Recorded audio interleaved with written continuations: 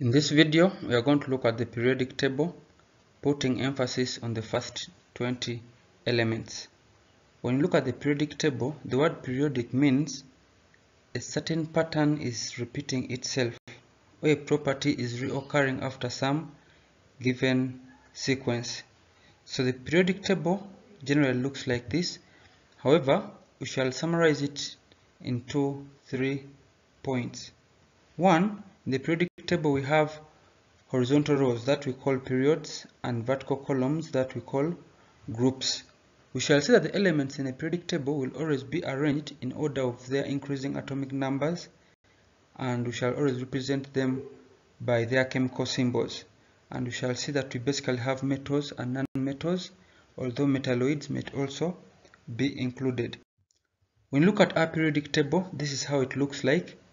But I have said we shall look at only the first 20 for reasons unknown. So we shall try to shorten it into this format where we shall deal with only the first 20, ignoring period 5, lanthanides, and so on. So you look at the periodic table, we shall start with hydrogen, helium, lithium, beryllium, boron, carbon, nitrogen, oxygen, fluorine, neon, sodium, magnesium, aluminium, silicon, phosphorus, sulfur, chlorine, argon, potassium, and calcium. Those are the first 20 elements. When you are to look at the top left corner of each of these square boxes, you realize that we have what I will call the atomic numbers. We have, for example, hydrogen has atomic number 1, helium 2, lithium 3, 4, 5, 6, 7, 8, and so on up to 20. That's why we say that the periodic table is actually arranged in order of increasing atomic numbers. Because you will see that after beryllium you go to boron, after boron you go to carbon, which is atomic number 6, and so on. So these elements are always arranged in order of the number of protons each atom has. So we have the transition elements between group 2 and group 3 as we shall see in future videos and we shall see what transition elements are all about. However, we are going to focus on only the first 20 elements. So our periodic table has what we call groups. When you look at groups, we shall realize that we have only 8 groups, although sometimes they may name them differently. We have group 1, group 2, group 3, up to group 8 usually we prefer using the roman numerals. So groups are basically these vertical columns. For example this is group 1 it will include hydrogen lithium sodium and potassium. If you look at group 4 we shall have our nitrogen and sorry group 5 we shall have our nitrogen and phosphorus. So basically groups will be the vertical columns that we shall be having as we shall see later on we also have what we call the periods. Now, periods are the horizontal rows that we shall see in this table. And we shall basically be having, for example, period 2. Period 2 will be this horizontal row. We shall have lithium, beryllium, boron, carbon, nitrogen, oxygen, fluorine, and neon. This will be in period 2. Period 1 we shall have only two, hydrogen and helium. You may sometimes find hydrogen not being in group 1 but there are some reasons behind that. But in this case let's put it in group 1 so we basically have four periods considering only our first 20 elements. In the periodic table some of the groups are given special names. That's why I've called them special groups. When we look at group 1 we have the alkali metals. That's another name for group 1 elements. These metals are highly reactive to the extent that they are stored under oil or in oil. For example, sodium. When you look at group 2 elements, these are known as the alkaline earth metals. They also dissolve in water to form alkali solutions. However, they are so common on, on earth to the extent that when they dissolve in water, we shall form our hard water. And these include magnesium and calcium. So these group 2 elements are also known as the alkaline earth metals. We also have group 7 elements fluorine, chlorine, and others, known as halogens, because they can easily form salts when they react with metals. These ones are also highly reactive and they are diatomic. in nature. When you look at group 8 elements, these are basically monatomic, meaning they exist as single atoms and they are relatively inert. They don't tend to react. We have helium, neon, and argon. Now, when you look at the periodic table, if we move down a given group, down any group, we tend to see an increase in atomic size, also known as atomic radius. Taking a look at group 1, where we have our hydrogen, helium, and lithium. When we say that atomic size increases down the group, it means that the atom of lithium will be larger in size compared to that of hydrogen. And among these four, that means potassium will have the largest atomic size because as we move down the group, we tend to increase the number of energy levels as we shall see. Let's look at atomic size down the group with group 1 as our reference group. Starting with period 1, we have the hydrogen atom or element. It has one energy level and one electron. That's why its electron configuration will be 1. But when we move further down group 1 to period 2, we shall have a new element of lithium that has two energy levels.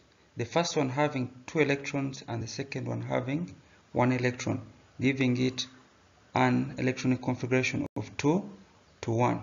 As you can see, we are having an increase in atomic size because we have a new energy level that has a larger radius compared to the one for hydrogen. When we go to period 3, we shall realize that we have the first energy level, then the second energy level, and then the third energy level. That's where we tend to have an increase in atomic size, stroke, radius. So here we shall have our sodium with three energy levels and one electron in the outermost energy level. Lastly, period 4 shall have our potassium which has four energy levels and the order of reactivity will tend to increase down the group 1 especially down groups of metals shall have an increase in reactivity. So down the group atomic radius increases. What about across any period? specifically from left to right. In this case, the atomic size decreases. When you look at the atoms of lithium, beryllium, boron, in this case, that will mean that an atom of boron will be smaller in size compared to that of beryllium. And that of neon, that means in period 2, it will always be having the smallest atomic size. But why is this so? When you move from left to right, that is to say from carbon to nitrogen, from nitrogen to oxygen, we tend to have an overall increase in the effective nuclear charge. As such, the outermost electrons tend to be attracted much more by the nuclear attraction. In this case, the atomic radius tends to decrease. So across any period, be it period 1, period 2, period 3, the atomic radius will always decrease. That means atoms to the right will always have smaller atomic sizes compared to atoms to the left of our periodic table. So our periodic table is basically divided into two regions, the left hand side and the right hand side, with the left hand side basically containing the metals. However, these metals we, sh we shall mainly stop on group 3, while from group 4 to group 8 we shall be having our non-metals. So aluminium will be a metal while chlorine will be a non-metal and this will be also evident in the way these elements behave whether to conduct electricity or not. However, when we are to summarize the groups, the groups aid us in identifying the number of electrons an element or atom has in its outermost energy level. For example, look at this group 2. Group 2 means that all elements in this group will be having two electrons in the outermost energy level. For example, beryllium has atomic number 4 and its electron configuration will be 2 to 2. It has two electrons. Magnesium has atomic number 12. Electronic configuration will be 2 to 8 to 2. It also has two electrons. Then we can do one more check. For example, nitrogen is in group 5, atomic number is 7. So it will have electronic configuration 2 to 5 still this is 5 5 electrons group 5 so the groups will tell us how many electrons a given atom has in its outermost energy level? However when you go to periods periods will instead tell us the number of energy levels an atom has. For example hydrogen is in period 1 that means it will have only one energy level. That will be the hydrogen. While lithium which is in period 2 will have two energy levels the innermost and the outermost that contains the one electron with the other two electrons inside so period 2 two energy levels 1 2 period 4 for example calcium will have 4 it will have the first one the second one the third one and then the fourth one as we had seen in our previous slides. So our calcium will have its last two electrons in the fourth energy level. So basically periods will tell us how many energy levels a given atom has. So that's all about the periodic table. However, we have a few things to note. Currently, we have roughly 118 chemical elements known at this time. As technology advances, we can always have more elements coming in as new ones may be discovered or created. So, one last question. What are, what are metalloids? We had seen metals and non-metals, but we have another term known as metalloids. So feel free to share with us what you think metalloids could be. At least there is a word metal.